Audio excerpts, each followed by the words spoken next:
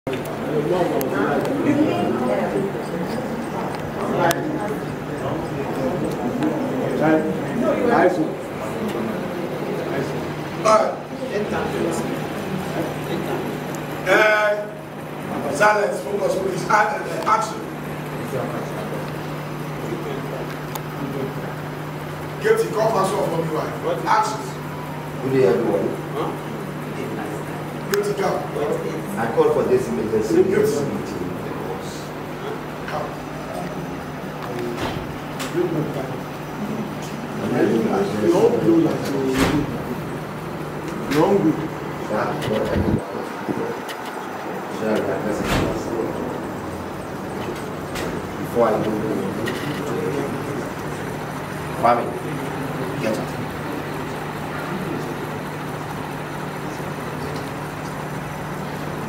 People sit in the church and try to be what they definitely know they are not. I don't know who they are deceiving.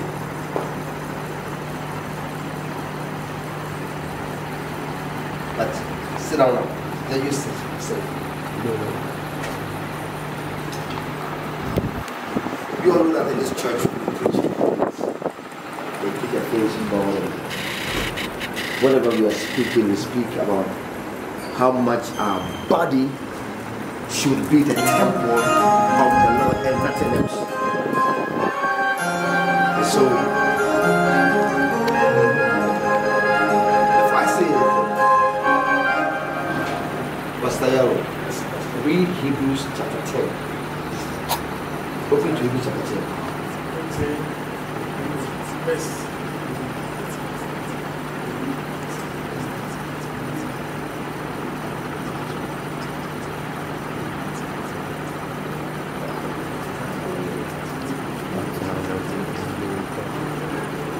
Open to chapter 10. Verse 38. Hebrew 10, verse 38. And a righteous No, no, person, no, no, rush it. Read it carefully. okay. And a righteous person will live by faith.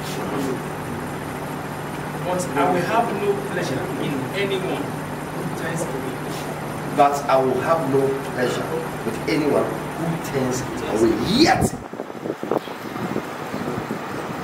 some people in the house of God decide to turn away. They boldly decide to turn away.